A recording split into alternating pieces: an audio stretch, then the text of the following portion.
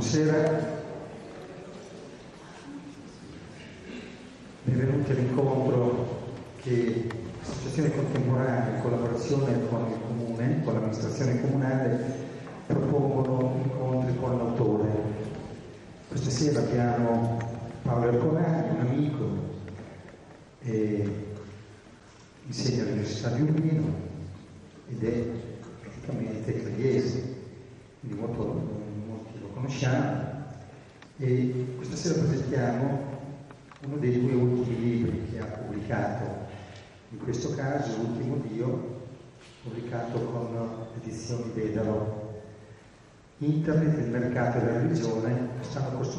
una società post-umana, con la prefazione di Umberto Galimberti.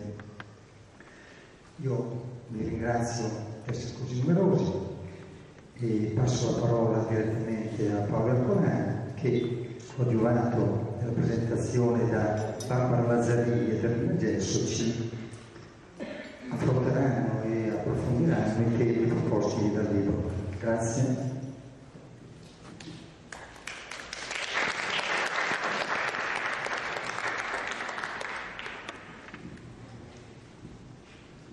Allora, grazie a tutti effettivamente di essere eh, venuti qui così numerosi. Eh, vi dico subito che noi abbiamo, no in realtà mi assumo io la responsabilità perché è la verità, abbiamo avuto, ho avuto un'idea che credo eh, sia mh, quantomeno diversa rispetto al solito, cioè non parlerà l'autore, quantomeno non all'inizio, e mh, ho cercato di far leggere questo libro che eh, per quanto mi riguarda è il libro più complesso che abbia ehm, scritto, eh, di farlo leggere a due persone di cui ho stima, profonda stima, vedere quali potessero essere le reazioni suscitate dalla lettura del libro. Eh, vi dico subito che non ci siamo messi d'accordo, io non so cosa diranno, spero che sia proprio il libro perché sennò sarebbe anche un po' imbarazzante. E mh, niente, quindi l'idea è questa, cioè quella di provare a consegnare un libro fortemente polemico, fortemente apocalittico, come dice un mio amico qui in sala, eh, uno di quei libri che insomma si accompagnano un po' al nostro 2012 che qualcuno dice sarà il nostro ultimo anno, speriamo di no. E, mh, e vedere appunto le reazioni, vedere le suggestioni che eventualmente ha creato la lettura del libro, ho chiesto loro, che sono due persone estremamente dotte, eh, di eh, insomma, non seguire per forza il, il libro, ma anche di ehm, inserire delle loro suggestioni, delle loro. Quindi se siete d'accordo io lascerei immediatamente la parola a loro due nell'ordine che abbiamo pensato. Proverò poi io alla fine a dire qualcosa, ma in maniera estremamente breve, proverò a essere solo molto polemico e basta. E, e, e, poi speriamo di poter interloquire con voi, insomma, di poter avere da parte vostra delle suggestioni, delle critiche, delle polemiche anche, che sono sempre benvenute in questa epoca così piatta. Quindi io mh, lascio per prima la parola alla professoressa Barbara Lazzarini e eh, vi chiedo magari di farle un applauso perché insomma è la prima volta che parlo in pubblico, un pubblico insomma così ampio. La stessa cosa vale per Eroinia, quindi saranno un po' agitate. Grazie a tutti.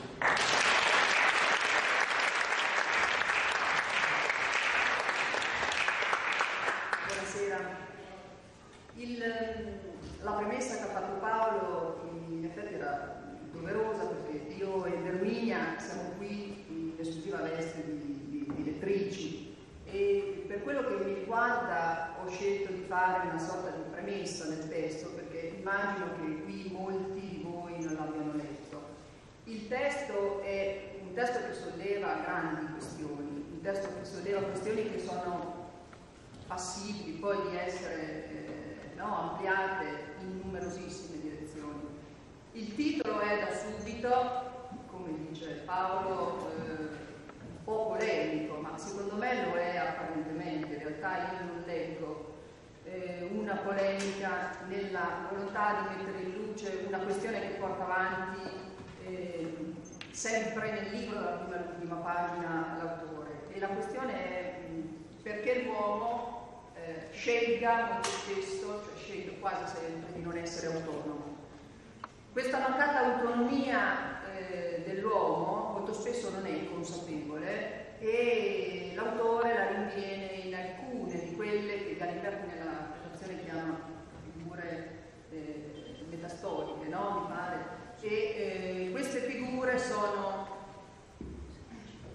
la religione, che è la, è la, la, la diciamo, figura più nota in questo senso, e vi accosta la tecnica, l'economia e da ultima, come ultimo dio, la rete. Ecco, apparentemente queste quattro grandi cose sembrerebbero disgiunte. In realtà la eh, procedura del saggio, cioè il discorso che Paolo porta avanti, e lo fa con un linguaggio, devo dire, molto chiaro, nitido e leggibile per tutti, pur essendo abbastanza complessa la materia che, che lo, lo sottende, noi eh, insomma questa complessità del saggio ha una, una sua coesione nel, nel, fatto che queste quattro cose, la religione, l'economia, la tecnica e la rete, rappresentano delle stampelle cui ci poggiamo, degli idoli più o meno vecchi, più o meno nuovi,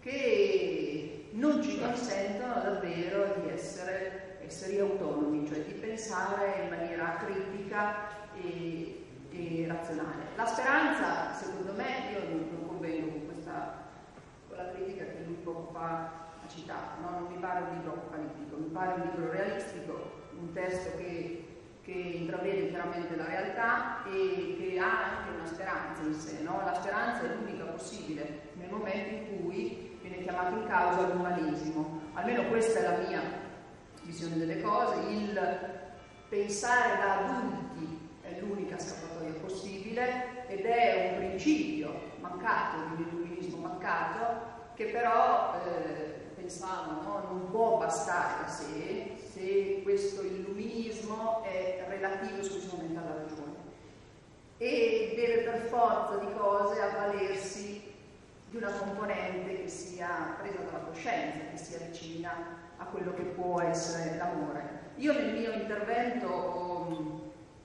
inframmezzato quello che vi dirò con delle, con delle citazioni.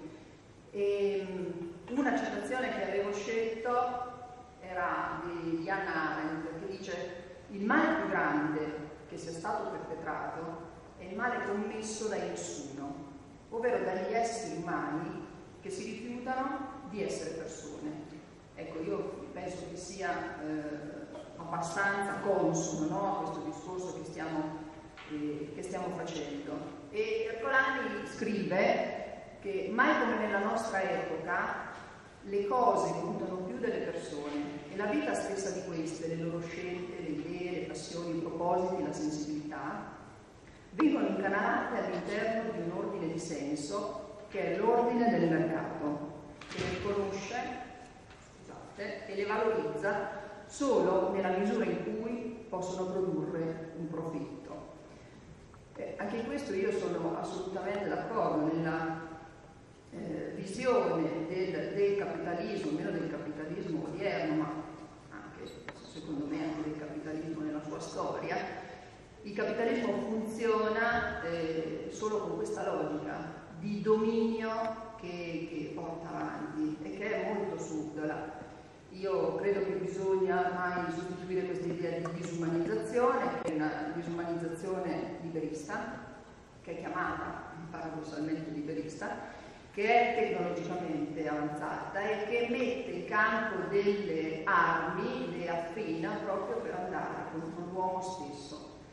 E a un certo punto l'autore scrive che cioè, ci, ci, prospetta questa apocalissi, no? cioè, siamo siamo siamo spinti verso, verso l'irreparabile.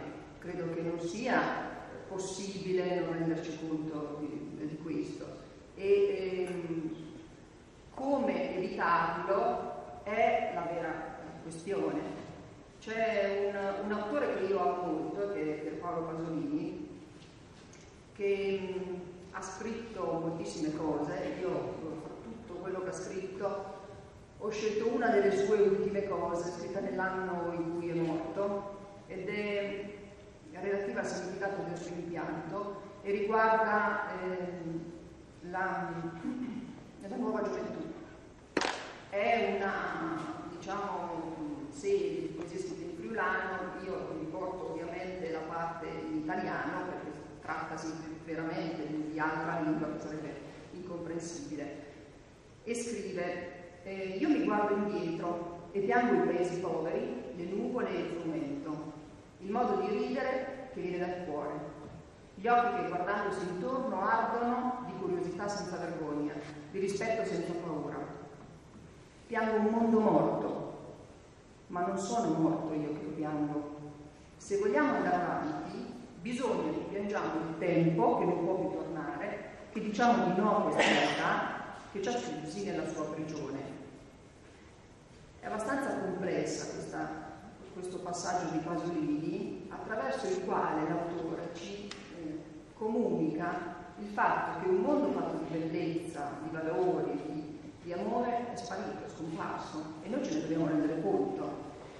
Questa elaborazione del lutto ci serve a non pensare di poter salvare il salvabile, ma ci, ci manda avanti, no? E eh, ci fa pensare più a quello che dice Karl Kraus, che la bruttezza del presente ha un valore refrattivo, cioè da qualche parte deve essersi generata. E quindi se vogliamo cambiare le cose abbiamo assoluto bisogno di riprendere in mano la situazione politica prendendo tutta un'altra strada. Questa altra strada è sicuramente la bellezza dell'uomo, l'umanismo, no? In effetti Paolo dice che dobbiamo porre al vertice l'intelligenza, la sensibilità, l'autonomia della persona.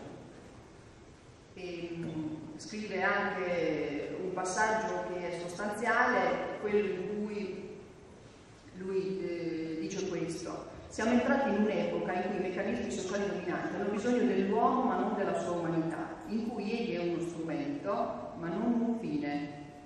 Questo è fondamentale, cioè quando l'uomo smette di essere il fine per cui si fanno le cose, ovviamente è tutto no, assolutamente assurdo. E per ottenere questo è necessario oscurare quanto più possibile le sue facoltà più individuali, la percezione, l'agire consapevole, la capacità critica, l'autonomia di giudizio, la sensibilità reale.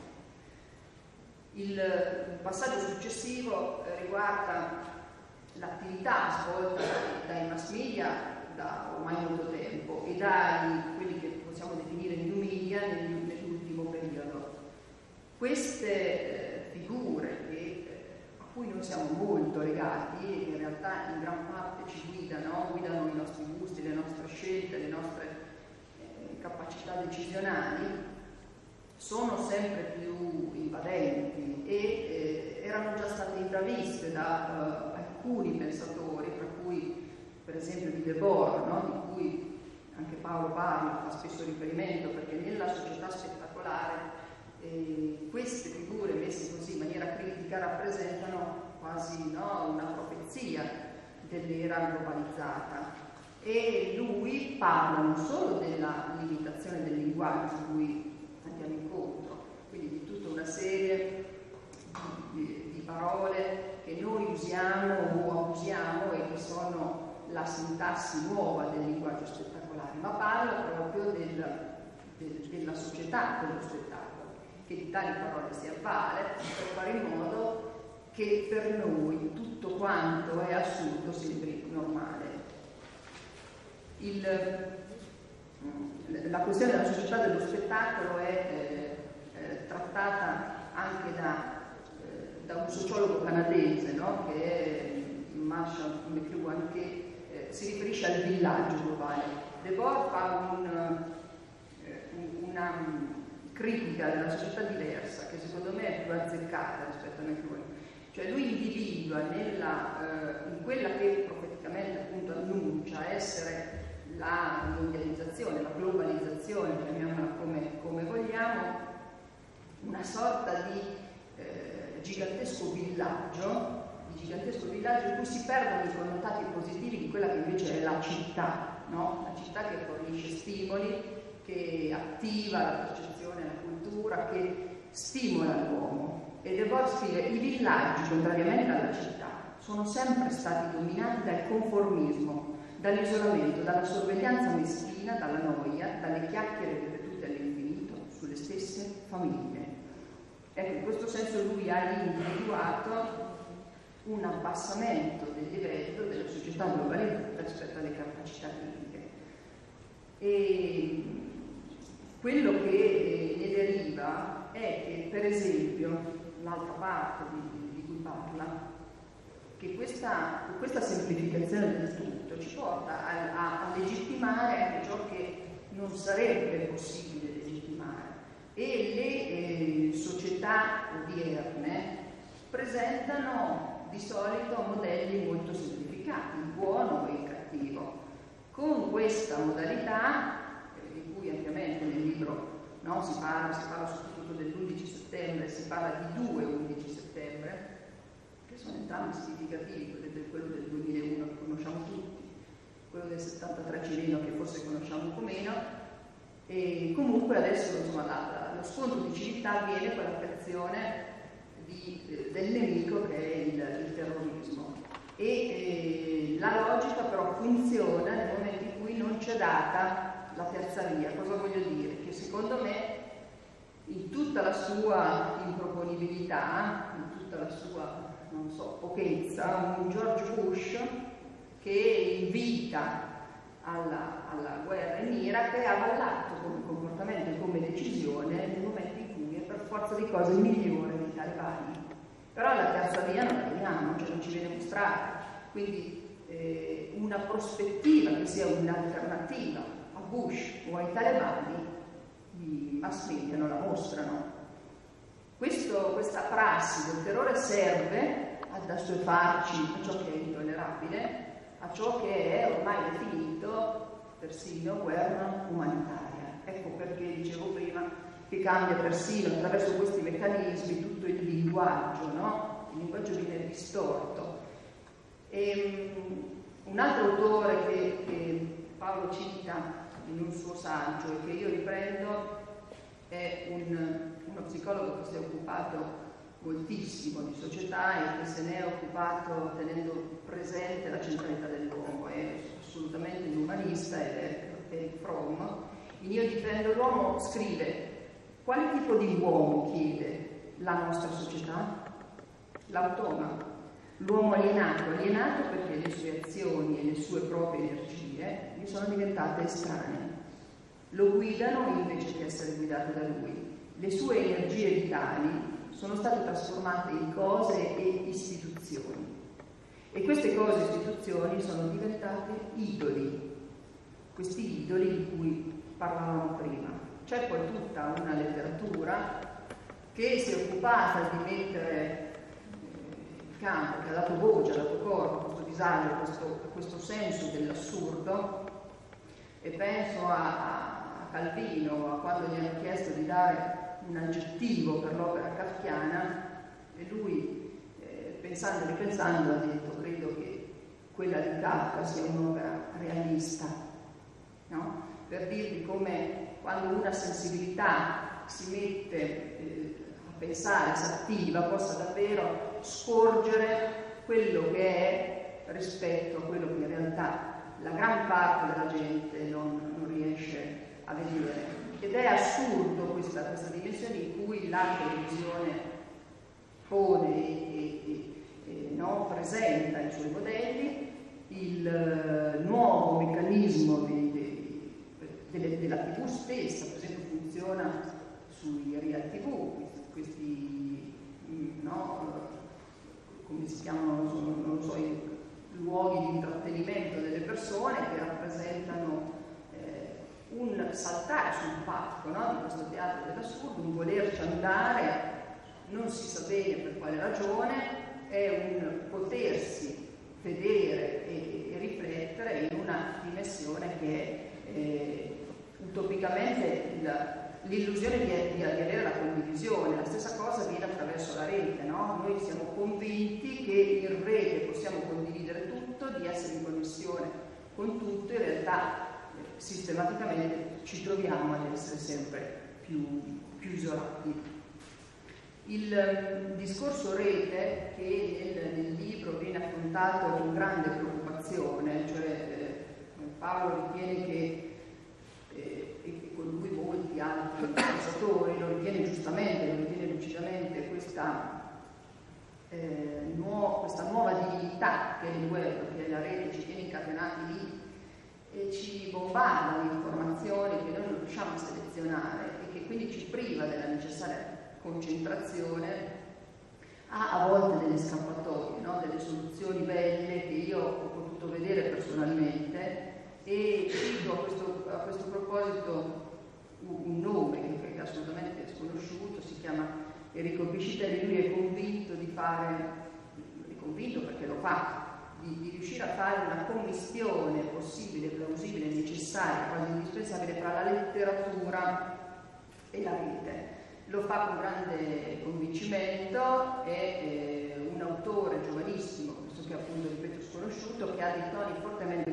critici verso la società odierna, eh, propone questo uso diverso da, della rete attraverso oh, le sue abilità tecniche, conosce bene la tecnologia, questo è un altro problema, no? molto spesso chi si avvicina alla, alla, rete non la conosce e quindi è completamente invaso, preso senza avere le competenze e eh, questo, questo, paradosso della, della, convinzione di essere lui in connessione con il tutto che è tipico della Kelly, no? mi pare che lo dice Paolo Kevin Kelly, sì. Kevin Kelly lo ribalta completamente il, il discorso della, invece del collettivo letterario di, Piscitelli.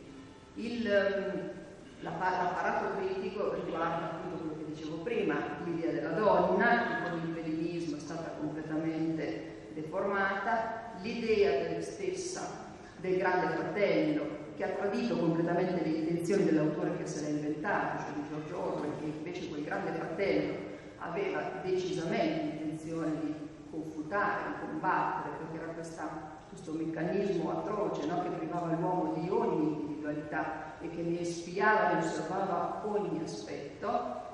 E questo grande fratello invece è, è giunto, è arrivato e Piscitelli scrive, vi voglio leggere un passo perché probabilmente non, non è appunto tanto conosciuto, scrive quando è cominciata?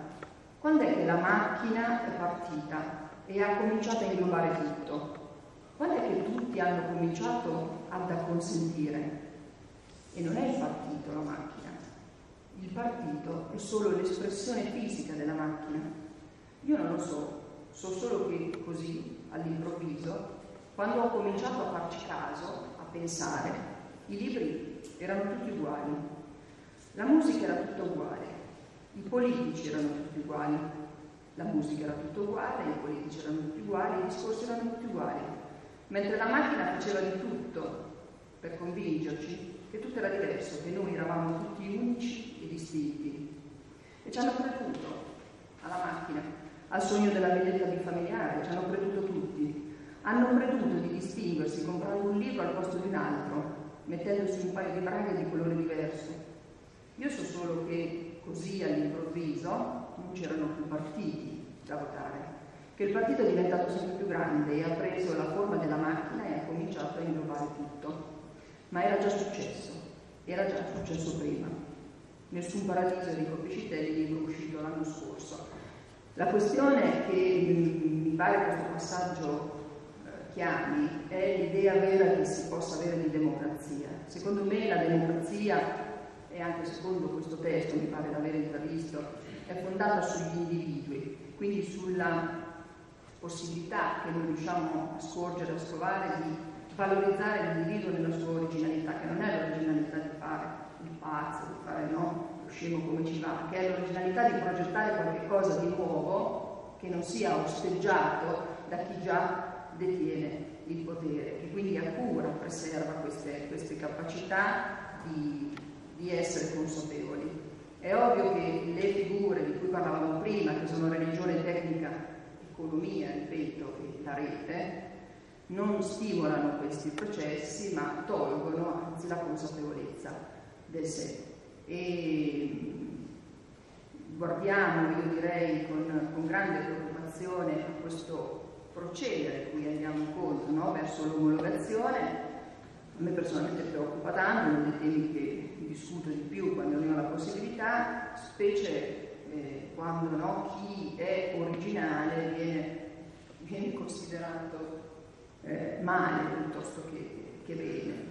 E eh, spero che insomma sia, si riesca a preservare l'idea stessa della, della verità, perché questa società così come è impostata tende a mascherare la verità, no? E eh, soprattutto diventa possibile pensare addirittura a quello che diceva Orwell, lo vediamo in tante cose, si possono fare un'infinità di esempi a questo proposito, la guerra è pace, l'ignoranza è forza, la schiavitù è libertà e questo è il più grande crimine che si possa fare contro la democrazia, no? questa menzogna che è legalizzata. Chiudo subito perché ho finito anche il tempo e eh, a proposito di questa menzogna legale, dunque signor Carter. C'è un titolo di tre colonne in prima pagina nel Chronicle. Perché l'Enquirer non ha un titolo su tre colonne? Ma la notizia non era importante. Signor Carter, se il titolo è grande, la notizia diventa subito importante. Questo era un dialogo tratto da quarto potere per dirvi che insomma ciò che ha visibilità diventa importante, quello che non può averne automaticamente è inesistente.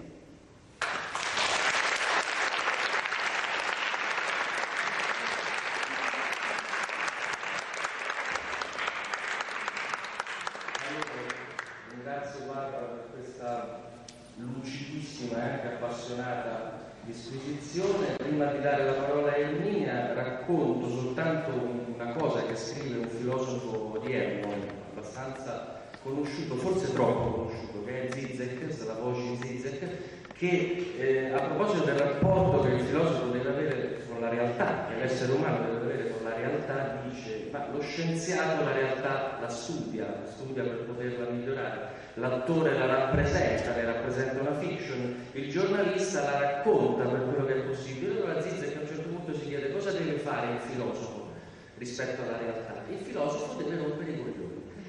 Questa è la definizione precisa eh, che io sento molto mia rispetto a questo libro, cioè tentare di dare fastidio, tentare, lo, lo dico in maniera meno volgare, quindi in maniera più tecnica, di decostruire gli ordini costituiti. Eh, in questo libro ho cercato, non so se ci sono riusciti in effetti, di ehm, mettere in discussione tutti quelli che sono, eh, tutte quelle che sono le nostre certezze, le nostre eh, sicurezze tranquillizzanti, le nostre idee, persino le nostre abitudini. E quindi spero, visto che da piccolo, la, fin da piccolo la dote che mi era riconosciuta di più era quella di saper rompere le palle, eh, spero di averla resa produttiva con questo libro.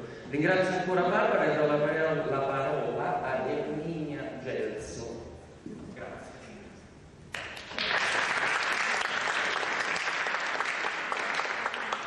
Allora, anche qui, cioè anche io sono qui in veste di lettrice del libro e quindi, poiché la mia formazione, cioè io studio lettere, quindi sono abituata a leggere soprattutto libri, cioè ho pensato che avrei potuto riflettere mentre lo leggevo e poi riportarvele qui eh, le riflessioni e gli stimoli che il libro offre al lettore. Tan sicuro che ci sia riuscito perché è anche abbastanza fastidioso alle volte, è salutare in questo caso, quindi eh, cercherò anche di fare, cioè di, di spiegare soprattutto, cioè di parlare di due dei concetti eh, fondamentali del libro, non, ma non esaurirò eh, tutte le tematiche perché è veramente molto articolato. Allora, se intendiamo eh, parlare di questo libro e, e, di che genere di libro è, possiamo definire, secondo la definizione che ha dato Paolo di filosofia, possiamo dire che è un libro di filosofia, nel si prefigge come scopo quello di una riflessione più profonda di quella a cui siamo abituati su argomenti eh, che sui, sui, quali siamo certi, eh, eh, abbiamo delle certezze consolidate. Diciamo. Allora, per fare questo, quindi per smontare e, e quindi per analizzare, ehm, le, le argomentazioni eh, devono essere trattate in una maniera tale, secondo me, che il lettore si trovi coinvolto. Quindi il libro è un oggetto relazionale, eh, il coinvolgimento da parte del lettore avviene tramite la, la formulazione delle domande. E se il libro è fatto bene, le domande che vengono poste sono quelle giuste, perché il porsi le domande giuste è il passo preliminare anche, eh, ed è anche più importante alla, alla, pretesa di ricevere delle risposte, anche se poi ci saranno e le troveremo più tardi. La tesi del libro è basata sull'accostamento, quindi una, la provocazione avviene per accostamento, di tematiche che sembrerebbero assolutamente lontane e irrelate fra loro. La religione, il mercato, lo diceva già prima Barbara, eh, la, la, tecnologia e quindi i media e, e quindi internet. Questi, tutte queste tematiche hanno in realtà un punto di contatto che si trova ed è da, da, da ricercarsi nell'essere umano, che è il creatore di tutte queste, della religione, di internet. E, ehm, è, il creatore di tutti questi sistemi. Eh, il punto eh, che li accomuna tutti è che questi, questi sistemi impediscono all'uomo di essere un soggetto veramente attivo e responsabile sia della propria storia, della propria storia individuale, sia anche di quella collettiva, su vari livelli. La caratteristica dell'uomo che appunto eh, stiamo cercando è quella della, una, eh, della percezione di una contraddizione agghiacciante. E, ed è quella di, allora, eh, noi tutti sentiamo che abbiamo una, un'interiorità, no? una profondità e diciamo ma com'è possibile che prima o poi dovrà finire? La, l'esperienza ci dà la conferma che siamo nati a, a un certo punto della, del continuum della storia e finiremo. E quindi la morte, che, che più che, secondo me, più che essere una paura, rappresenta un assurdo, un assurdo totale il fatto di essere di passaggio in questa terra è quello che ci rende appunto deboli e che ci fa e ci, pro, ci procura una profonda angoscia. Quindi siamo incapaci effettivamente di affrontare questa verità che percepiamo come assurda. E allora ci impegniamo a costruire degli ordini, dei sistemi che possano in qualche modo giustificare un fatto che di per sé sentiamo come inaccettabile, quasi come se fosse una punizione. La religione, nella fattispecie, si occupa per esempio di sistem- sistematizzare un sistema di valori che prima di tutto ci dà la spiegazione di questa cosa, della morte. Allora, noi moriamo perché siamo peccatori, abbiamo il peccato originale e quindi moriamo. Non fa una piega, il discorso lineare ed è giusto, ed è anche più giusto. La religione quindi stabilisce una serie nettamente contrapposta di valori che, eh, organizzandoli quindi per, per tutti i fedeli e che si basa su una distinzione netta fra bene e male. E questo sistema è accettato perché non è umano, perché l'ha stabilito un ente superiore, quindi per forza deve essere accettato da tutti, è indiscutibile. Ehm, in tal modo tutto acquista un significato e siccome un significato è sempre più accettabile, anche se è crudele, di un assurdo, ci sta bene così. Il sistema così concepito è giusto, sarà anche crudele, però è giusto. Ed è più giusto di quello reale effettivamente. Se commetto un'ingiustizia sono punito, se mi comporto bene in qualche modo, prima o poi sarò premiato. C'è meno decisione, c'è meno libertà, però c'è anche indubbiamente meno ansia. E quindi Dio, nella, eh, l'uomo nella divinità cerca la consolazione, il riscatto, perché questa realtà non for- spesso non fornisce diciamo, soddisfazioni alla nostra affermazione come individui, quindi un riscatto e anche un soccorso finale, quindi la speranza in un soccorso, in, una, in un premio dopo, dopo la morte.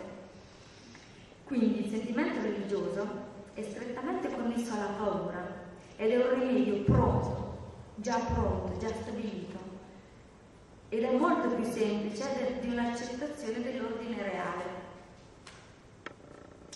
Quindi l'uomo proietta sulla divinità delle capacità che gli sono precluse, prima fra tutti quella di dare senso alla realtà e, e le proietta una, un'entità superiore, l'essere perfettissimo, che le raccoglie tutte e che lo, e completa l'uomo, quindi è una proiezione, eh, lo completa nella sua insufficienza e nella sua inadeguatezza. Infatti Paolo a un certo punto nel libro dice che noi non ci bastiamo, effettivamente non siamo in grado di, di capire tutto. Ora, e questo per quanto riguarda la religione, Adesso per collegarmi al discorso della rete, perché credo che sia uno degli snodi più anche complicati da capire del libro, utilizzo le parole di Paolo così faccio Allora, potremmo azzardare una sorta di parallelismo tra il percorso della psicologia individuale e quella collettiva.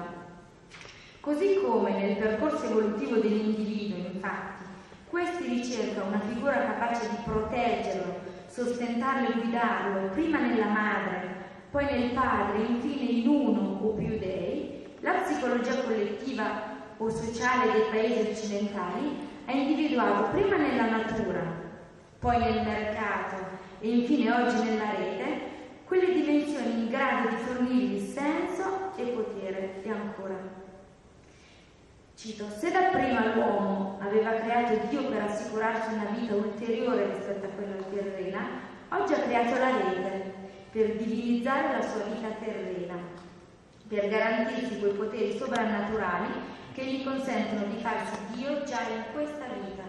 La rete onnisciente e onnipotente, almeno nell'illusione, nella nostra illusione. Quindi, per accordare queste due tematiche, Internet come ente superiore, tra virgolette, perché si autoregola indipendentemente dall'individuo e perché fornisce un dominio in cui realizzarsi in questa esistenza, ovviamente virtuale. In entrambi i casi c'è una proiezione, anche sì una speranza, e comunque uno spostamento di responsabilità. I vantaggi di internet sono sotto gli occhi di tutti e sarebbe anche assurdo contestarli perché nessuno credo ci rinuncerebbe. Sono gli inconvenienti che però ci aiutano a, a capire il parallelismo con la religione.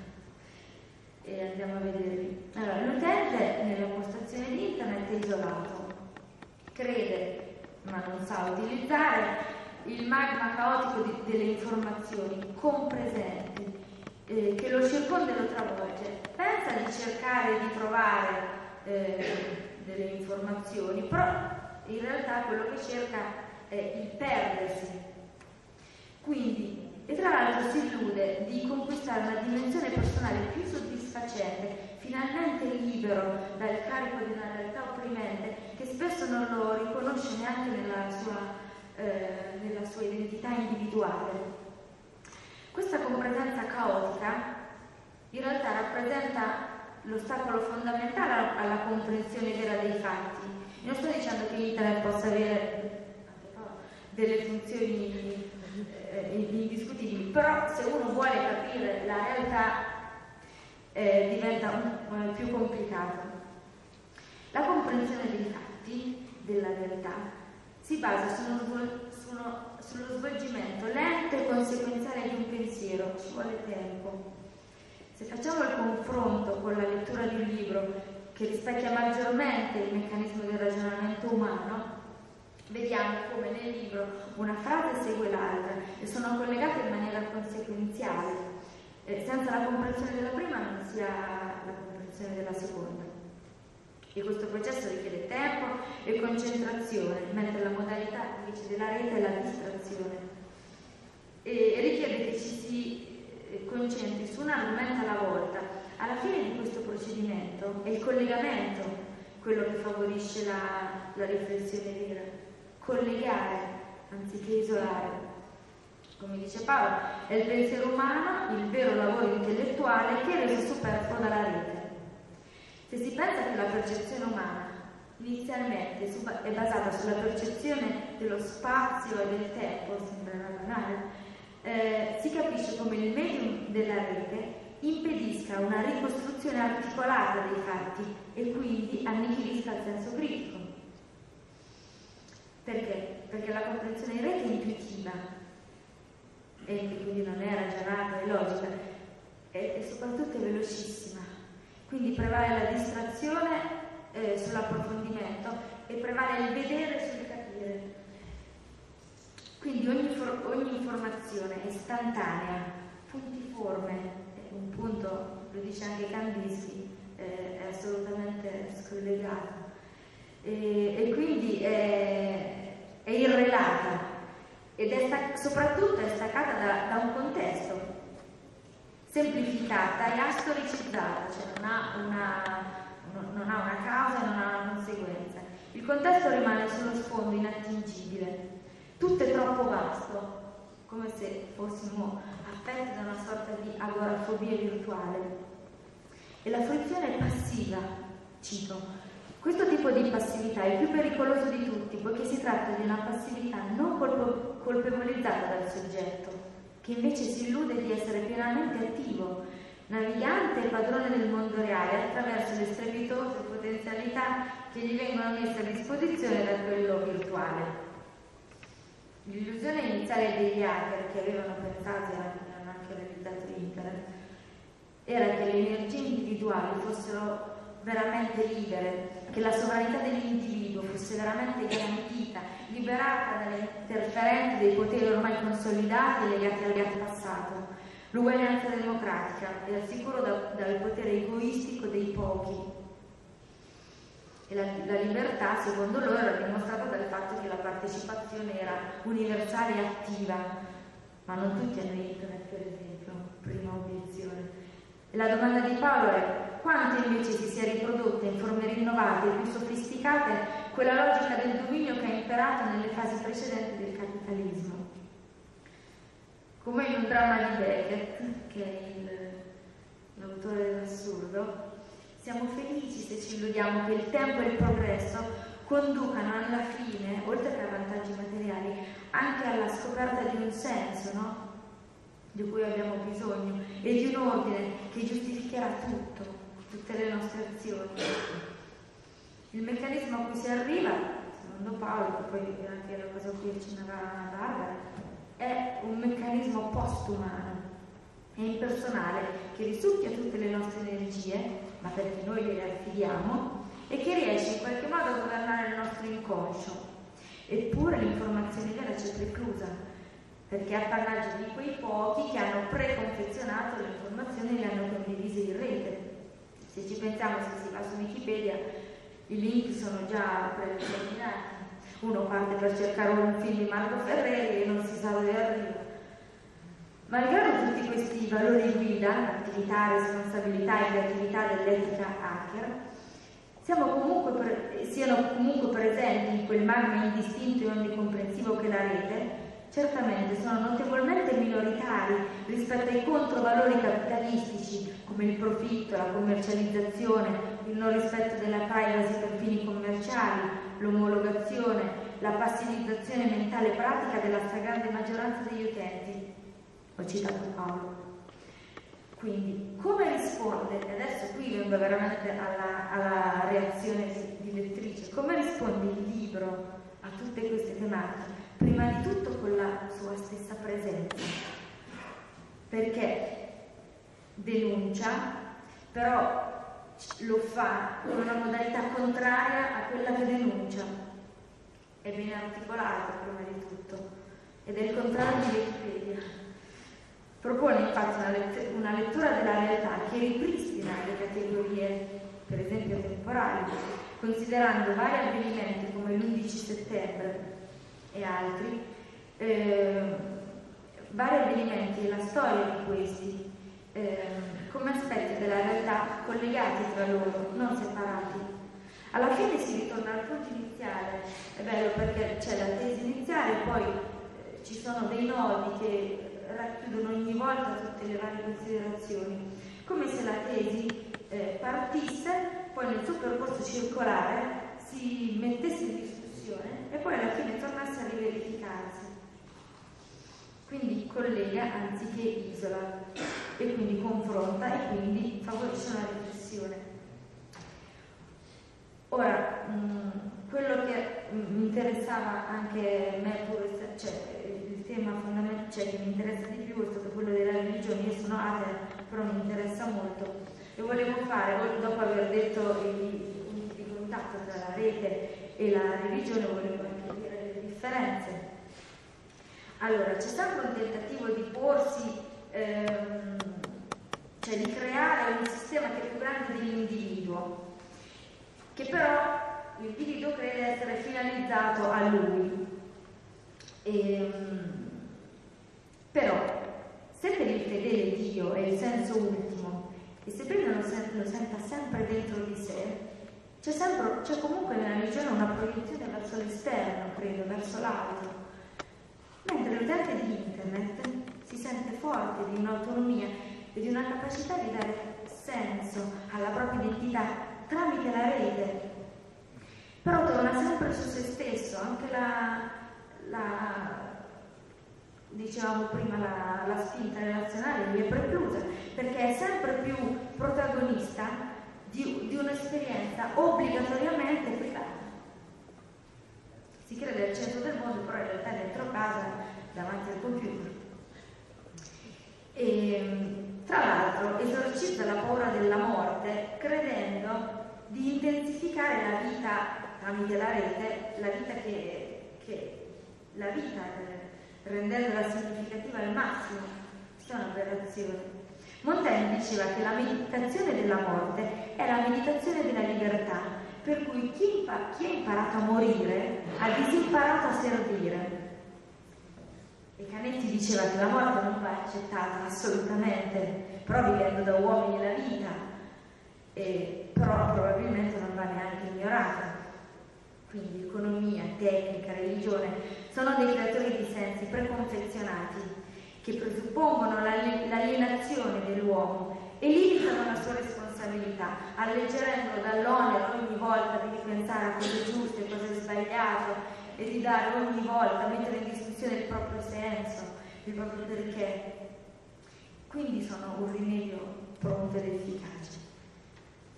Ora, Paolo non è che voglia condannare tutti questa vita è veramente tremenda, però ci invita se non altro a considerare, eh, a considerare tutte queste cose in una modalità differente. Non siamo totalmente liberi di muoverci per esempio come pensiamo. Ci sono dei sistemi più grandi di noi, assolutamente umani, anche se ci danno l'illusione di essere governati dalla mano invisibile, eh, che eh, tentano di, di, tenerci fedeli a, a loro per degli scopi umani, anche questi. La consapevolezza, la risposta, cerchiamo delle risposte, no? Nel libro, la consapevolezza è una di quelle risposte. Il cittadino consapevole, l'essere umano consapevole della propria non libertà è più libero del cittadino inconsapevole, dell'essere umano inconsapevole. Si può essere o meno d'accordo con l'interpretazione dell'11 settembre e con tutte le altre tematiche affrontate nel libro, però quello che si prova è quello di cui parlava Paolo all'inizio, è quel fastidio, quel sentirsi mettere ogni volta in crisi che è veramente eh, il motore della, di una riflessione. Il libro quindi è l'oggetto veramente relazionale, ma anche un dibattito, facendo adesso. Quindi la cosa sulla quale siamo invitati da Paolo a metterci in crisi non sono dei fenomeni contingenti, cioè sì lo sono, ma eh, preliminarmente in realtà eh, sono le grandi domande che l'uomo dovrebbe sempre porsi, pur senza trovare risposte spesso, i grandi interrogativi che ci rendono umani e non bestie. Per concludere, eh, tutto questo probabilmente non ci sembrerà nuovo, no? Ce lo saremo, l'avremmo pensato tutti. E già i letterati, i filosofi, gli antropologi saranno, avranno in mille forme, si saranno già fatti le stesse domande, avranno già fatto le stesse riflessioni. Allora la domanda è, l'altra domanda, un'altra, perché continuare a scrivere libri come questo? E perché noi li dobbiamo, o oh, ancora leggere, perché dobbiamo continuamente interrogarci su queste tematiche, perché sono queste le domande che ci tolgono, tentano di toglierci da uno stato di minorità e di brutalità.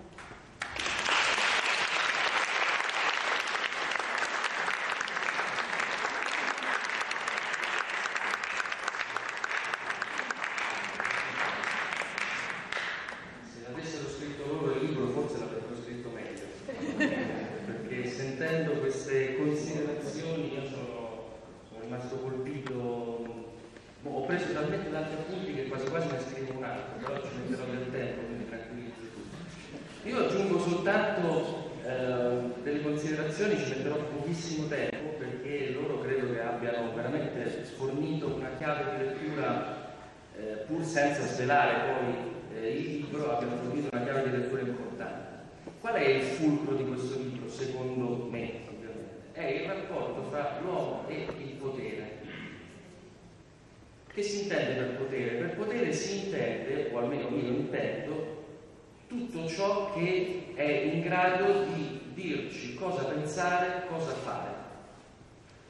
Il potere sostanzialmente nei confronti dell'uomo è assoluto in due modi, secondo me cioè eh, quando noi crediamo ciecamente a qualcosa, non la mettiamo in discussione, non la critichiamo, in quel caso è un potere maggiormente intellettuale. L'altro modo che ha il potere di qualunque potere, eh, che sia un'altra persona che ha potere su di noi o che siano i grandi poteri della storia, se il primo modo, dicevo, che ha il potere di essere assoluto nei nostri confronti è quello di farci credere ciecamente a quello che esso ci dice, l'altro modo che ha qualsiasi potere di essere assoluto nei nostri confronti è quando noi affidiamo la nostra vita a quel potere. Io credo che oggi, soprattutto con la rete, noi non so quanto consapevolmente o meno stiamo affidando tutta la nostra vita perché noi attraverso questo medium, non a caso è un medium, attraverso questo intermediario, noi facciamo esperienza della nostra vita. Non è più un'esperienza diretta, non conosciamo più le altre persone, o quantomeno non la maggior parte delle altre persone, non le conosciamo più eh, nella maniera umana, con i tempi umani, con le modalità umane. Noi sentiamo il tono di una persona, vediamo gli occhi di una persona quando ci parla, sentiamo persino l'odore di una persona, perché comunque c'è una chimica nei rapporti umani.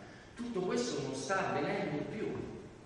Noi possiamo conoscere milioni di persone anche lontane chilometri da noi, superiamo le barriere spazio-temporali e in questo diventiamo quasi delle divinità, perché cos'è che ci fa essere umani? I limiti. Ma la rete ci permette di superarli, quei limiti purché ci adeguiamo ai, ai suoi modi di funzionare. La rete non funziona, questo intermediario non funziona come l'essere umano. La domanda da porsi è, questo intermediario lavora per noi? Fa effettivamente il nostro interesse? Ci dà veramente qualcosa in più che non avremmo se non ci fosse questo intermediario? Io cito sempre due, una è una parabola, una è un mito che siano i due modi in cui il potere funziona nei nostri confronti. Una è una parabola buddista che racconta di un re dell'India eh, che raccoglie un giorno tutti i ciechi della sua città, le persone non vedenti, e li porta un elefante, ovviamente glielo fa toccare perché i ciechi non possono vedere l'elefante, lo toccano e poi il re gli sottopone la domanda, com'è un elefante? E ognuno dei ciechi risponde in base alla parte dell'elefante che ha toccato. Chi ha toccato la coda dirà che l'elefante è qualcosa di peloso, lungo, chi ha toccato la testa, chi ha toccato la, la proboscide, chi ha toccato la zampa. E a un certo punto questi ciechi ovviamente cominciano a litigare, a litigare furiosamente, ma insomma no, l'elefante è così, no, in quest'altro modo, no, è questo. E il re intanto se la ride. Questo è un modo che ha il potere, quello di questa parabola secondo me rappresenta un modo che ha il potere di comportarci nei nostri confronti, cioè quello che loro sanno qual è la realtà, noi siamo resi ciechi dalla realtà e possiamo soltanto litigare pensando di possedere tutta la realtà, quando noi dovremmo essere consapevoli che ogni essere umano, possediamo soltanto una piccola parte di verità, che è quella piccola parte che abbiamo potuto toccare o semplicemente eh, toccare, tra virgolette, con la nostra mente, che è una mente limitata. Si può essere ciechi perché non si vede, ma qui interviene l'altro grande l'altra grande parabola che è tratta dal mito della caverna di Platone, come insegna Platone, si può anche essere ciechi per troppa luce. Le malattie degli occhi sono di due tipi, o si è ciechi perché non si vede, perché c'è il buio, o si è ciechi perché c'è troppa luce. Mentre il potere di una volta, i poteri di una volta, avevano, noi in Italia lo sappiamo bene, perché viviamo in un paese di stragi irrisolte, di misteri irrisolti, di casi che non trovano soluzione. Una volta il potere aveva la facoltà di dominarci rendendoci ciechi, cioè facendo sì che la dimensione del buio, della non conoscenza fosse la dimensione eh, che caratterizzasse la maggior parte dei cittadini, delle persone. Oggi con queste nuove tecnologie il potere funziona come viene descritto nel mito della caverna di Platone. Veniamo resi ciechi dalla troppa informazione come dico in un passo del libro che è stato citato, questa è l'epoca in cui sappiamo tutto ma non conosciamo nulla. Grazie a un motore di ricerca, a un computer acceso e messo su un motore di ricerca, noi in pochi secondi abbiamo la possibilità di avere miliardi di informazioni su qualunque cosa. Questo vuol dire che noi effettivamente quelle cose le sappiamo. E questo credo, così come hanno detto sia Barbara che Erminia è un po' la cifra portante che lega eh, il rapporto che c'è oggi tra il potere e, e l'essere umano. Mi si potrebbe chiedere chi è il potere? E io lo dico chiaramente nel sottotitolo. Per me oggi i tre grandi poteri sono il potere tecnologico o tecnocratico, dir si voglia, il potere economico e noi lo stiamo vedendo, noi viviamo in un paese in cui il nostro Presidente del Consiglio incaricato oggi non si vergogna di dire io non ho problemi nei confronti dei cittadini, io devo rispondere soltanto ai mercati. Viviamo in un'epoca in cui il benessere di un paese si misura con un numero chiamato prodotto interno lordo, non si misura più con la qualità della vita dei cittadini. Se questo non è aver delegato una dimensione umana, un potere del, a cui dell'uomo non gliene importa nulla, ditemi voi qual è l'altro caso. La rete è il terzo potere che li ingloba un po' tutti, perché la rete, lo abbiamo detto, è sia quell'elemento che eh, ci dice che cosa è vero e che cosa non lo è, ma è anche quell'elemento ormai sempre più indispensabile nell'intermediazione tra noi e la nostra vita. Noi cerchiamo informazioni attraverso la rete, conosciamo le altre persone attraverso la rete, ci diamo in contatto con i nostri cari attraverso la rete. In questo testo vengono citati studi di neuropsichiatri e neuropsicologi che dimostrano come molte volte, per esempio, qualcuno mi obietta, ma io ho un figlio che vive lontano, ho un parente, un caro amico che vive lontano, se non ci fosse la rete che mi permette di tenermi in contatto con questa persona, io come farei? Eppure è dimostrato dalla, dagli studi psicologici che vengono fatti che immediatamente dopo che la persona ha come dire, interloquito con il parente lontano, con l'amico lontano, con la persona amata lontana, come spegne i contatti sullo schermo, subentra uno strato di depressione ancora più grande.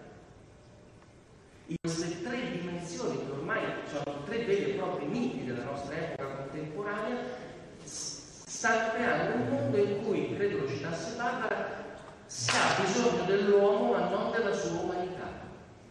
Hanno bisogno di noi perché noi dobbiamo dare il voto, noi dobbiamo comprare, noi dobbiamo produrre, noi dobbiamo rispettare quello che ci viene detto, ma non ha bisogno questo potere della nostra umanità, non vuole, l'essere umano non è solo quello che produce, che compra, che, che, eh, che, vota, che esprime consenso o dissenso. L'essere umano è anche quello che prova passioni, prova emozioni, quello che pensa con la propria testa, quello che eh, mette sotto una luce critica qualunque cosa, quello che sceglie di fare una scelta di vita, scusate il gioco di parole, alternativa, qualunque essa sia.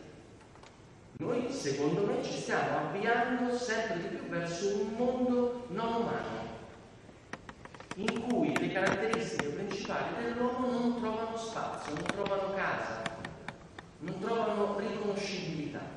Queste tre grandi dimensioni, come credo che eh, Barbara e Emilia hanno abbondantemente descritto, queste tre dimensioni, internet, il mercato e un certo tipo di religione, sono le tre dimensioni che eh, dimostrano questo fatto, cioè il fatto che si sta passando verso un, un'epoca post-umana, in cui l'uomo non è più l'attore della grande rappresentazione che viene fatta e che noi chiamiamo vita questo credo che sia un motivo per cui preoccuparsi fortemente. Grazie.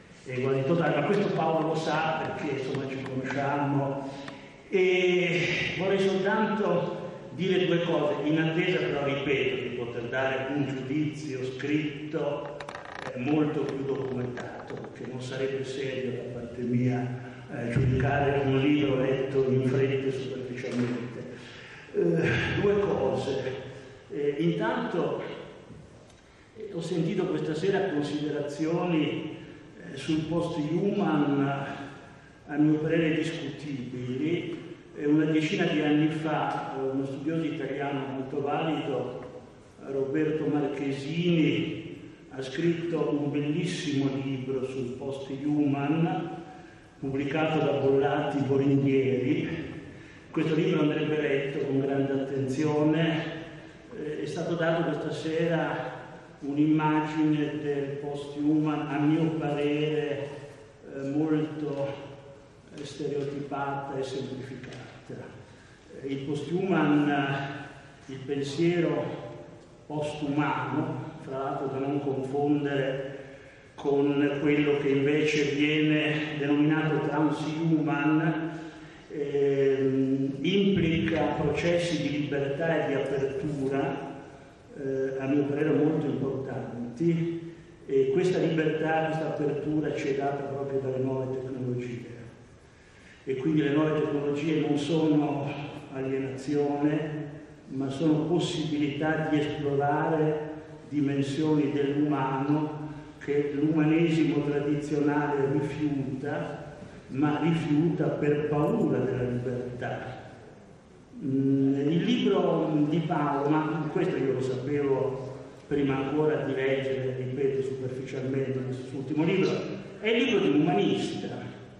Paolo è un umanista E, ma non è questo, come dire, non è un insulto, eh, perché si inserisce in una tradizione illustre, eh, si inserisce no, nella grande tradizione dell'umanesimo occidentale e naturalmente di fronte a certi fenomeni della contemporaneità manifesta perplessità e timori che possono essere anche in parte giustificati. Ecco, però lo sguardo di Paolo è fissato, mi pare, sul presente certamente, ma su un presente visto alla luce di un passato che forse egli tende a idealizzare. Eh, io sono vecchio, ho conosciuto la società preindustriale, eh, sono vissuto in, una, in un'Italia agricola, pretecnologica, e non c'era nessuna comunità armoniosa, eh, c'era disuguaglianza, sfruttamento, eh, disprezzo per i deboli, emarginazione molto più che nelle società del capitalismo avanzato. Pasolini, mi dispiace dirlo a mio parere, è un esponente del pensiero reazionario italiano contemporaneo, non ci può essere maestro di nulla, è un uomo che guarda al passato, ma ripeto, queste sono mie considerazioni eh, sulle quali credo la maggior parte dei presenti dissentirà. Eh, io da vecchio liberale sostengo che il mercato e la storia ne è la controprova con tutte le sue durezze con tutte le sue ingiustizie, è una garanzia di libertà. Non ho mai conosciuto società senza mercato che garantissero i fondamentali diritti civili e politici. Ritengo che le nuove tecnologie, ripeto, siano uno strumento di liberazione. Ritengo che l'esperienza religiosa, non quella delle chiese, ma l'esperienza religiosa in sé, sia un grande momento di libertà.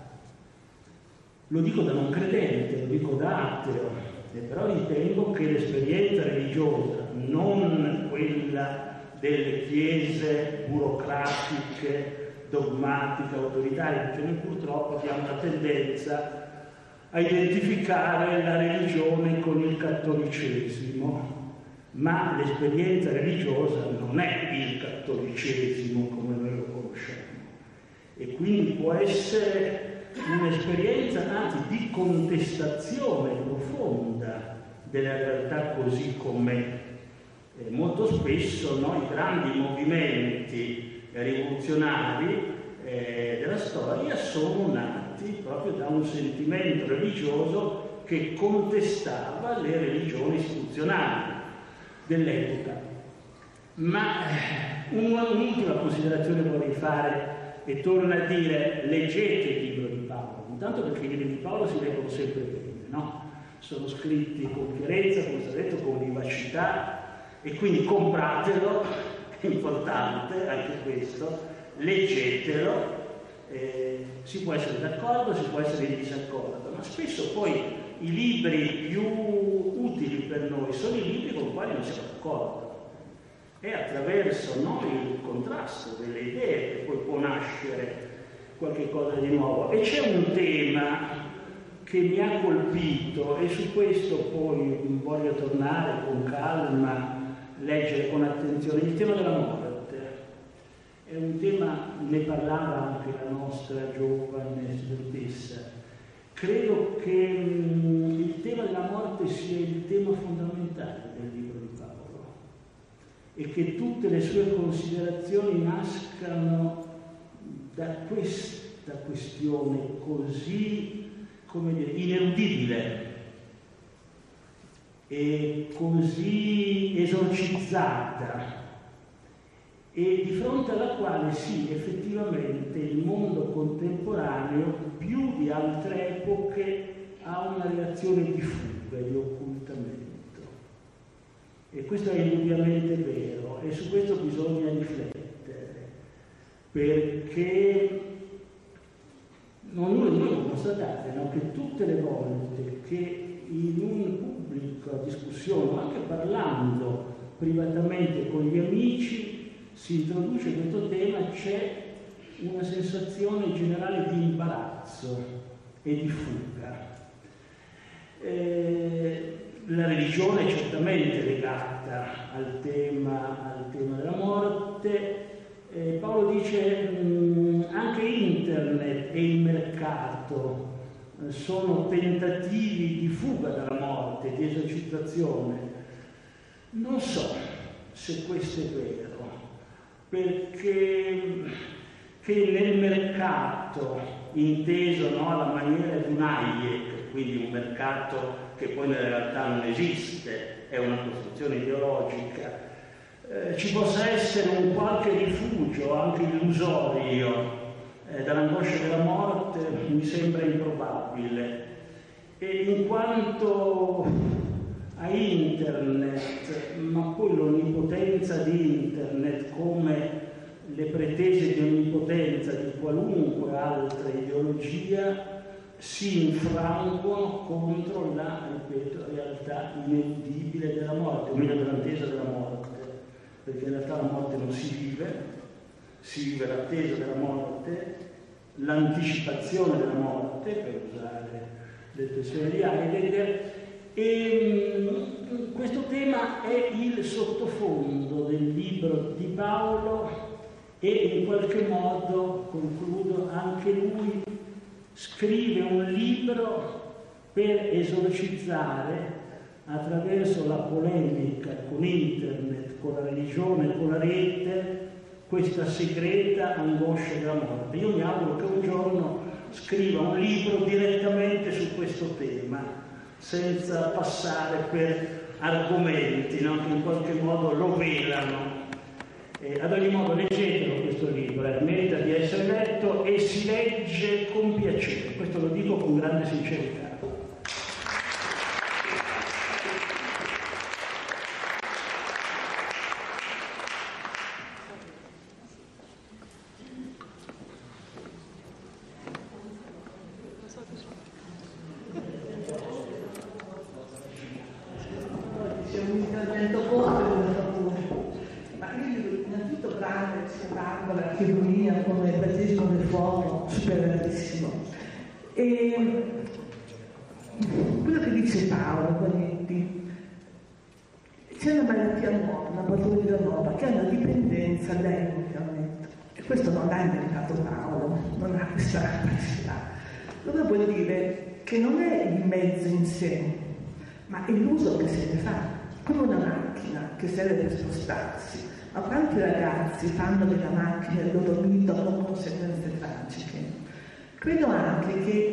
c'è un punto importante, non so se Paolo l'ha detto prima, c'è un unico modo perché non diventi Dio né internet né altro, a parte la religione, essere consapevoli.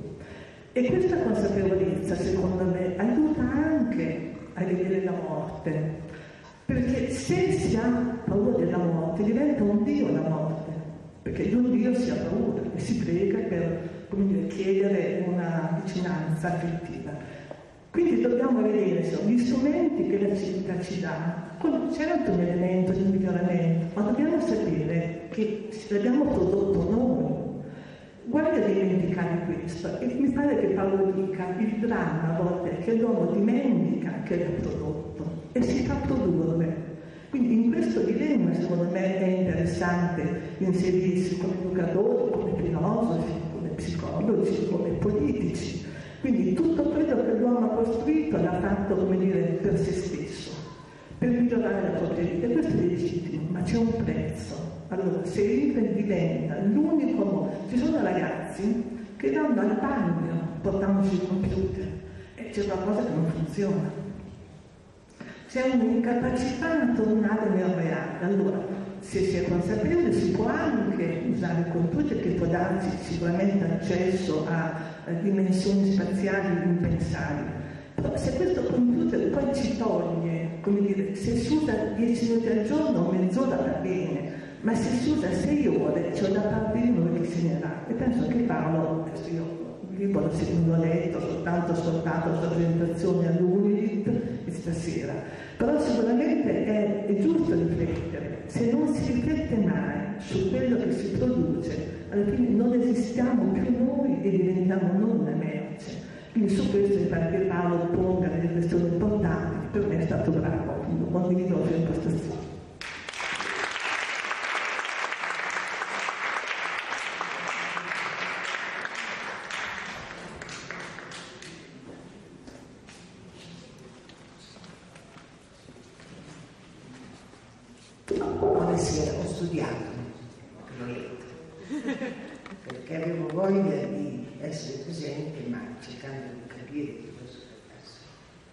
Condivido fortemente la, la bravura di Barbara e di Erminia.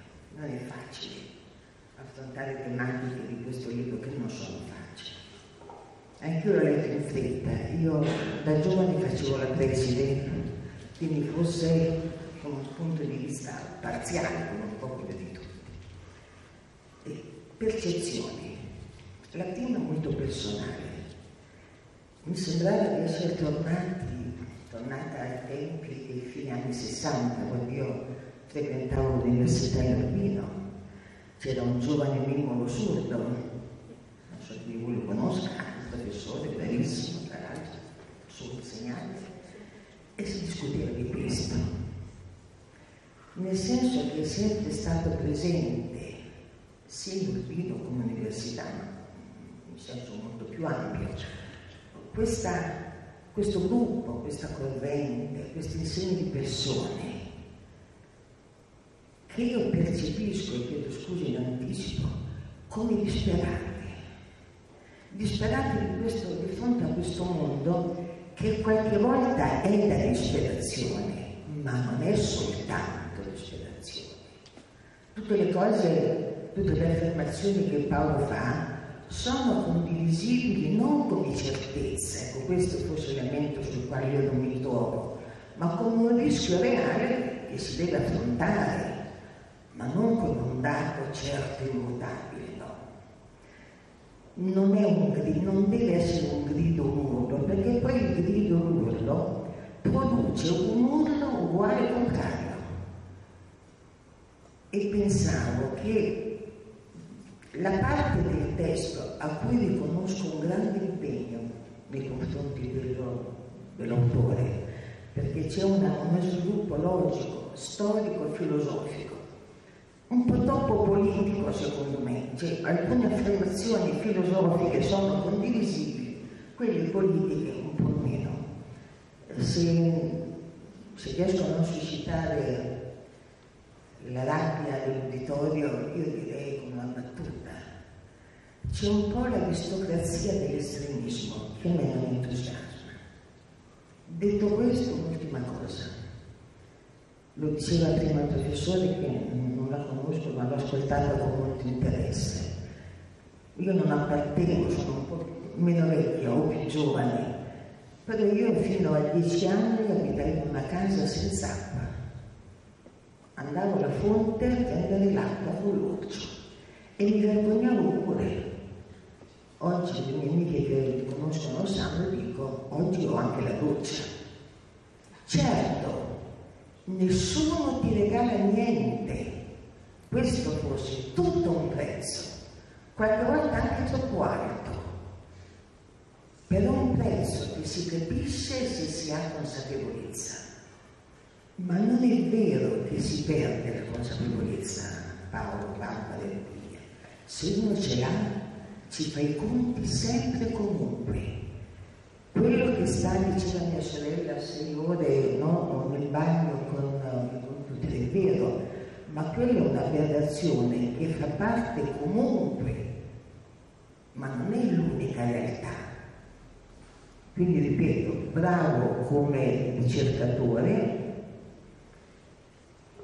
io dissento politicamente perché mi pare dietro c'è un qualunquismo, io non sono liberale, sono, ho fatto politica quando ero giovane, non la faccio più da tanti anni, sono però una persona ottimista, con attenzione, ma ottimista verso il genere umano. Diversamente dovremmo accettare i suicidi di massa. Allora, in bocca al lupo Paolo, perché tu venda tanti libri. In bocca al lupo per una vita un po' più allegra. In bocca al lupo perché non vorrei che alla fine tu che critichi, lei, chiedo scusa ma sei così giovane rispetto a me, lei che critica il conformismo non dimentichi che c'è anche un'altra forma di conformismo, che è l'anticonformismo. Vi ringrazio.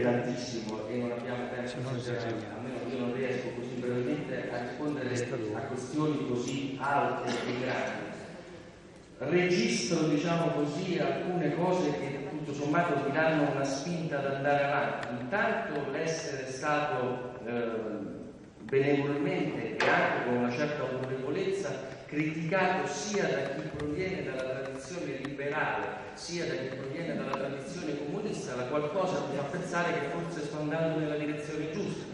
E tanto politico non devo essere evidentemente perché credo che manchi il democristiano, insomma non so cosa si offre per questa cosa. E e credo che ci siano delle cose che vanno, intanto nego categoricamente e sfido in senso buono e affettuoso chiunque a pensare che questo sia un libro politico. Eh, sfido chiunque a dimostrare che in questo libro ci sia una sola proposta politica. Io non propongo né di abolire qualcosa né di sostituirlo con qualcos'altro. Non credo che il mercato vada eliminato, credo che vada eliminata la rete, e tutto sommato non credo che vada eliminata neanche la religione e se anche lo credessi non cambierebbe nulla perché già altre persone illustri prima di me avevano decretato la fine della religione tanto tempo fa. La religione non finisce perché è una cosa connaturata all'essere umano, quindi eh, diciamo non ho delle pretese così, così alte. Eh, la morte, io credo che Paolo abbia ragione, il professor Bonetti, chiedo scusa per la eccessiva confidenza, ma insomma io credo che abbia, abbia la, morte, la morte è sicuramente il tema portante del mio libro, però attenzione, non la morte intesa come fine della vita, a me spaventa la morte da lì. Perché io nella mia breve e inutile vita ho imparato che la morte peggiore è quella che fanno i libri. Si può morire con grande onore, ma non si può smettere pensare con grande onore. E credo che eh, il compito di ciascuno di noi sia quello di mantenere accesa questa cosa che è chiamata critica, che come e tu Paolo meglio di me, anche la professoressa che mi ha preceduto, sapete, viene da un verbo greco molto importante, critica, che vuol dire scegliere a me spaventa un mondo in cui eh, una persona che tenta di criticare degli aspetti così importanti della nostra contemporaneità, come sono la rete, la religione, il mercato, crei scandalo o che venga, diciamo così, tra virgolette, accusata di essere, tra molte virgolette, o apocalittico o una sorta di estremista, per di più aristocratico. Che vuol dire estremista aristocratico? Nel senso che quando i comunisti erano estremisti perché c'era il Partito Comunista erano estremisti popolari, adesso che il Partito Comunista non c'è più sono estremisti aristocratici. Mi sfugge un po' questa cosa. Mi spaventa quel paese in cui le persone che tentano di criticare qualcosa in maniera documentata e portando degli argomenti concreti facciano scandalo un mondo in cui chi tenta di fare uso della critica crea scandalo è un mondo infelice, perché tutti noi dovremmo sempre mantenere accesa questa facoltà che abbiamo, che è quella di tenere accesa la nostra mente. Troppo spesso noi oggi ci troviamo ad accendere dei mezzi e a spegnere il cervello. Sembra un'affermazione banale, ma in realtà viene riportata dagli studiosi, viene riportata dagli psicologi da neuropsicologi. È un meccanismo che si crea, si accende il mezzo e si spengono i filtri cognitivi, le attività cognitive. Io non sono un estremista, non sono un estremista perché non propongo nulla, io propongo qualcosa di estremamente liberale ed è questa la mia risposta fondamentale a, a Bonetti. Io propongo qualcosa di estremamente liberale, propongo una soluzione individuale. Cioè io sarei felice, il mio obiettivo è questo, poi magari è un obiettivo che raggiunto. Se ogni persona che legga questo libro finisca di leggere questo libro sentendo di avere un'energia in più per se stessa. Ed è quell'energia che fa sì che quella persona non accetti più le verità che gli vengono imposte dal mercato della comunicazione, non accetti più di lasciarsi sottomettere, per esempio, dalle logiche del mercato. Sarebbe ora che i nostri giovani, ai quali io ormai non appartengo più, eh, avessero la forza di non rassegnarsi al fatto che devono subire dei contratti a tempo determinato che li privano di qualunque diritto. Sarebbe ora che le persone più giovani recuperassero quella forza, quella, quella, quella, energia che hanno avuto i nostri padri i nostri nonni nel creare un mondo in cui anche i più deboli fossero tutelati, in cui eh, la sanità, la previdenza sociale, chiamata pensione, in cui eh, la scuola, il diritto all'istruzione, il diritto a, a, potersi, a poter aspirare a un futuro migliore rispetto a quello in cui si è avuto la sfortuna, la fortuna di nascere, fosse qualcosa per cui valeva la pena vivere. Se noi perdiamo queste cose qui, dopo si dice che molti ragazzi oggi sono, sono privi di grandi volontà, privi di grandi disegni, privi di grandi utopie, ma d'altronde se gli abbiamo tolto l'utopia più grande, che è quella di poter avere un futuro. Quale altra, quale, quale, quali giovani possiamo mai immaginare che abbiano voglia di pensare liberamente, abbiano voglia di pensare con la propria testa, abbiano voglia di criticare il mondo in cui vivono? Noi oggi ci stiamo facendo sottomettere a quella, lo ricordava Erminia, che eh, viene chiamata una logica del dominio. Oggi sempre di più le persone si lasciano, ci lasciamo dominare da delle, delle consuetudini che stiamo accettando passivamente. Non dobbiamo avere più tutele nel lavoro che facciamo, non dobbiamo avere più la, il diritto di poter pensare al futuro. Molti non hanno più il diritto, per chi ci crede, neanche di poter creare una famiglia, perché non c'è più Oggi sono tutti bravi a dirci dobbiamo diventare più flessibili, dobbiamo accettare questa flessibilità, ma poi qualunque persona che va in banca sa benissimo che non gli danno neppure un mutuo se non dimostra di avere un contratto a tempo indeterminato. E pare buffo, ma noi ragioniamo di tempo. Che cos'è? Qual è la differenza tra un contratto a tempo determinato e un contratto a tempo indeterminato? Non siamo tutti precari in questa vita, dobbiamo giustamente tutti andarcene da questa vita. E quindi la differenza qual è? La differenza siamo noi, la differenza la facciamo noi, la nostra capacità di creare un mondo in cui ci siano delle regole che tutelino tutti, soprattutto i più deboli, soprattutto coloro che non hanno la, la forza, la capacità di imporsi in un mondo che vuole essere sempre più selettivo.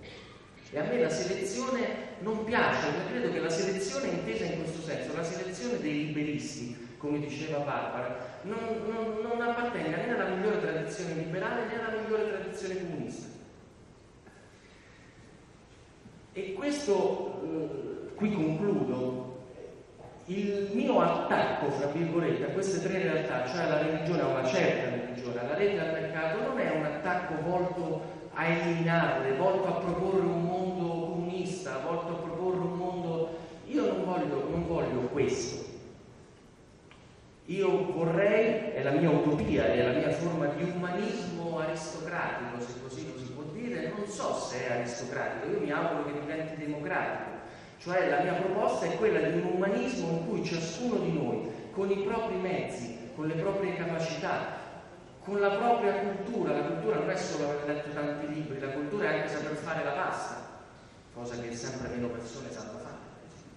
Io credo che valga la pena e credo e spero che questo libro aiuti a farlo, valga la pena di tentare singolarmente, individualmente, di recuperare un mondo in cui eh, ci sia bisogno dell'uomo, ma ci sia bisogno di un uomo umano, che non sia sottoposto, sottomesso alle logiche del mercato, alle logiche della tecnologia e alle logiche di una religione che sempre di più ci vuole dire dove sta la verità e ci vuole costringere a fare quello che dice lei in nome di quella verità che conoscono solo le alte sfere ecclesiastiche. Basta.